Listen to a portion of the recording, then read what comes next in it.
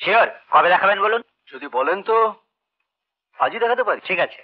আজ সন্ধ্যাবেলা অ্যাস্টর হোটেলে একটা পার্টি আছে। চলে আসুন। ওখানে আমি মডেল দেখে নেব আর কয়েকটা পার্টির সঙ্গে আপনার ইন্ট্রোডিউসও করিয়ে দেবো। ওকে শুনুন আমি কিন্তু অ্যাডভান্স ছাড়া কোনো কাজ করি না। আচ্ছা। হ্যার ইজ ইউর অ্যাডভান্স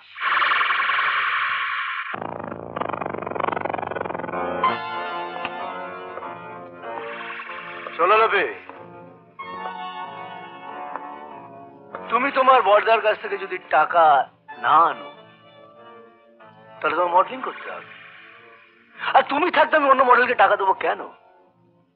আবার? না আমি পারব না। একবার বড়দার কাছে মার কাছে আমি ছোট হয়ে গেছি। আর নয় আমার সম্মান আমি নষ্ট হতে দেব না।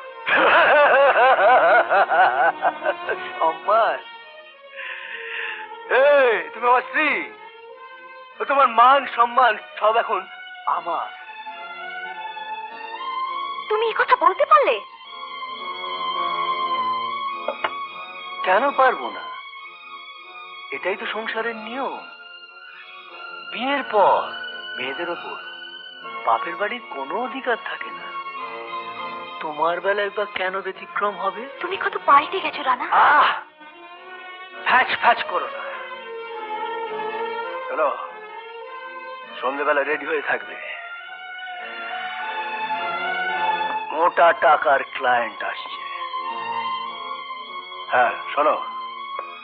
ওই সতী সাবিত্রীর মতো সিঁদুর ফিঁদুর পড়ে থেকো না। ক্লায়েন্ট ওসব পছন্দ করে না। তুমি আমাকে তোমার স্ত্রী বলে পরিচয় করিয়ে দিতে চাও না?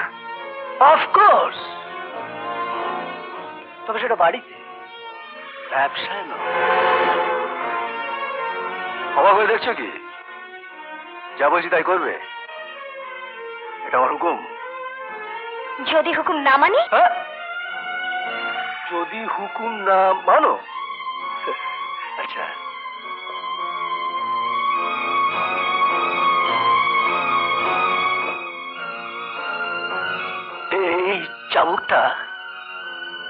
আমার বাবার।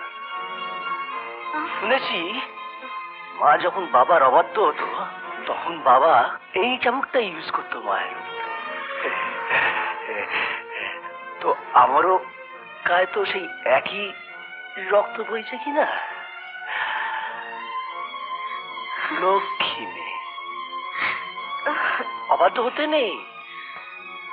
ওতে পাপ হয়।